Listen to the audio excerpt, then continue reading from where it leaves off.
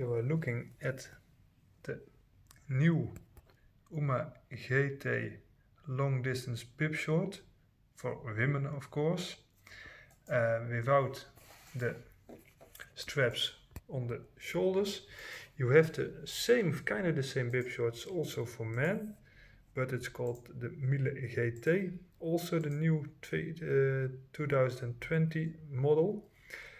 And uh, what you can see on the front this is very wide and that's also the case with the Uma GT.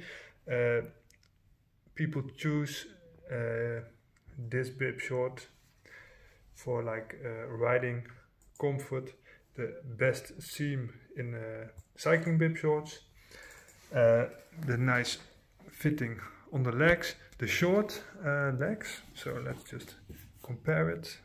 So both are the same size. So this is the Uma, this is the Mille GT for men. And see that like uh, the this uh, length is more than on the Uma. So this is way shorter.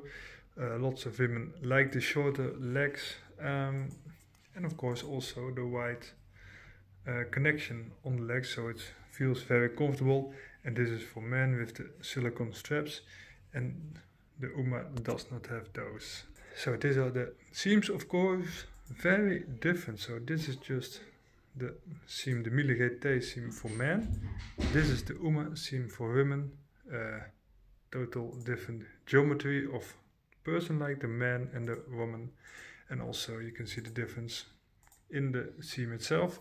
Both have the like golden gate construction where you look at uh, yeah, the inside it just it can ventilate. That's the same thing with the Mille GT for men on the front. For men some holes for ventilation. For women not. And for the rest they just kind of the same uh, the same thickness of the seam. I think just uh, yeah the choice if you want uh, to if you want to spend some bucks on the best bib short uh, for women uh, and you don't want those straps around your shoulders. So hope you liked the video and rate it with a thumb